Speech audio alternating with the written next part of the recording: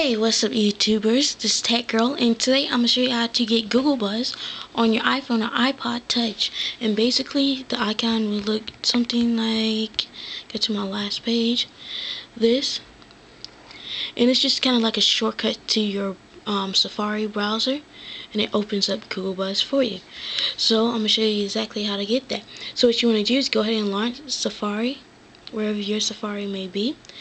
And you want to go to gmail.com. Now you cannot get this on your desktop yet, but it soon will come. I have a video in the description by Tech Tech Man um, TV, and you go check that out and give you more information about Google Buzz and everything.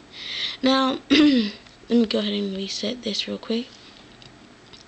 So basically, once you're in here, you just go down to down below and you want to press older version once.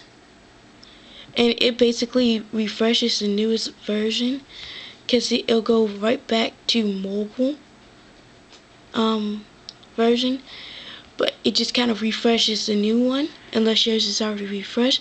And right here on the top there can hardly see there it'll say buzz. Go ahead and click that I'm not following anyone because I just figured this out myself.